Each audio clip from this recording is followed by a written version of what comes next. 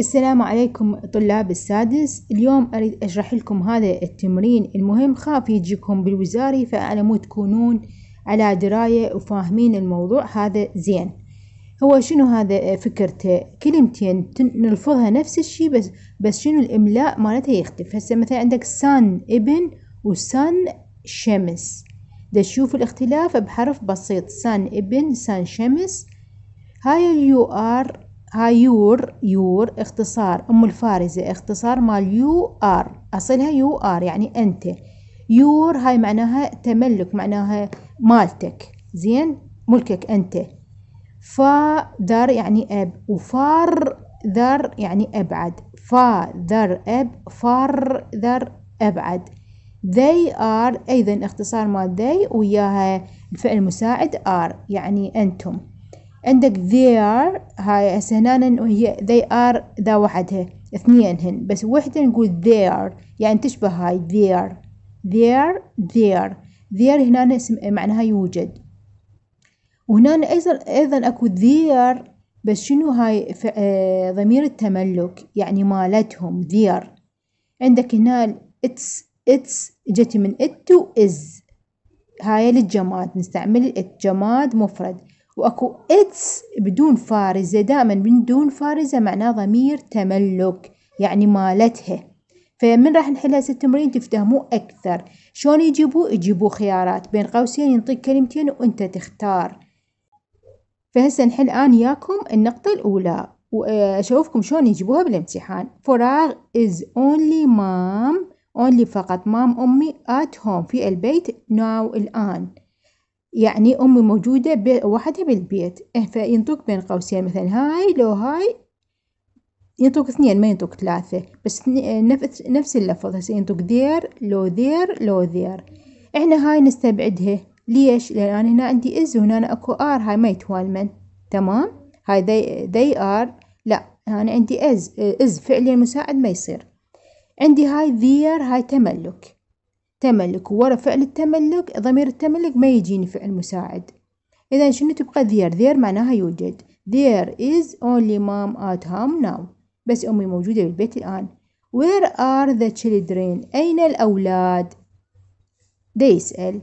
فراح يقول at school now. في المدرسة الآن. باوع هو children أولاد. خوش؟ معناه شنو ضمير الأولاد؟ they خوش؟ فأنا أري وين ضمير الأولاد الذي هياته they are يعني هم. they are at school now. هم بالمدرسة.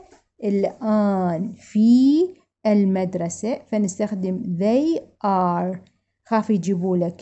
they uh, هاي. there أنا بدي ألفظ لكم إياها. منفصلة عم تفتهموني بس هو متصلة there. وحدها they are. there يجيبوا لك مثلا لو هاي there. فأكيد هاي they are. هاي they are there. خوش؟ زين. هنا فراغ. Dad is at work. Dad أبوهم is at work. أبوهم بالشغل. هسه إجاني هنا ضمير التملك. أبوهم. فشو نستخدم ويا أبوهم؟ ضمير التملك هو their their dad. بس هو أكثر شي بالوزاري آه، يجيبون هاي النقطة وهاي النقطة. خلينا نشوف. ماي فراغ is an engineer. لأن واضحة يجيبوها. Engineer مهندس. هو مهندس. ويجيبوك بين قوسين. Father لو farther فهو من هو المهندس؟ أبوك. فتكتب father. ويجيبون مثلا نبتون. هذا كوكب. Is فدائما ويا الكواكب؟ معناها نستخدم أبعد. شنو علاقة بالأب؟ كلمة أبعد. فأبعد farther. هاي نستخدمها ويا الكواكب. هذا نبتون is farther away. أبعد from us. من عندنا than Mars. من المريخ. زين نبتون أبعد من المريخ. نجي ثلاثة. My parents my parents يعني والدي. اثنين. Have عندهم فراغ. Son and a daughter. هنا هاي بنت. خوش يجيبوا لك بين قوسين son لو son son الابن لو son الشمس انت دا تشوف parents والديك وإذا شوف دوتر بنية هاي تجي أشمة اللفظ بنية فأكيد الولد تختار الولد سان. هنا باوع Mercury هذا شو اسمه الكوكب is the closest أقرب planet مري أقرب كوكب to the sun هذا الكوكب ال Mercury هو أقرب. أنت من تشوف موضوع كواكب إذا شمس تختار. وما راح تختار ابن لا تختار شمس. أربعة فراغ not feeling very well. ها not feeling very well. يعني أنت لم تشعر بحالة جيدة. very well يعني حالة جيدة. feeling تشعر. فأنا دا أحكي وياه أقول له your. هي أصلها you are. you're not feeling very well. because because لأنه uh, your temperature حرارة. Temperature حرارة is going up. صاعدة حرارتك صاعدة. فأني من أقول حرارتك temperature أقول your تملك ضمير تملك. ومن أحكي وياه أقول له you are your. عرفنا سوية الحرارة أخذنا التملك. ومن أحكي وياه أقول you are يعني you're not feeling very well. خمسة يحجون عن مدرسة. فراغ a good school هي مدرسة زينة. أنا المدرسة وأريد أقول عليها هي مدرسة زينة جيدة.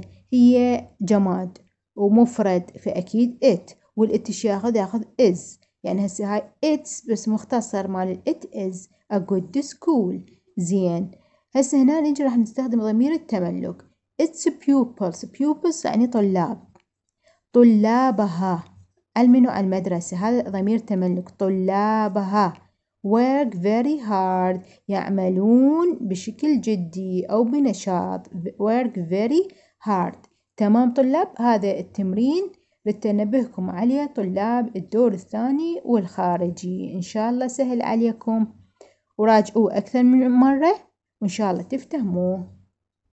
طلاب السادس. أدري أصعب شي عندك الإسقاطات ينطق كلمات وما تعرف تحطها بالفراغات تعال يمي أنا سهل الموضوع عليك. باوع. can feel. feel يعني يشعر. عندك هنا cold برد. أنت من تسخن. شي يصير بيك؟ مرة حارة مرة باردة. فتكتب لي hot hot or cold تمام؟ نجي على هاي الثانية.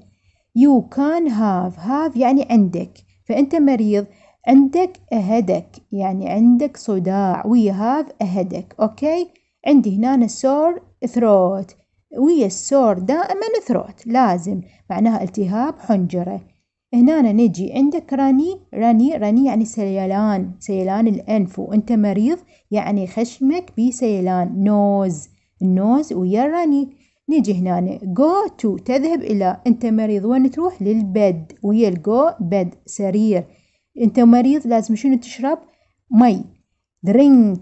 lots of. تشرب الكثير من water.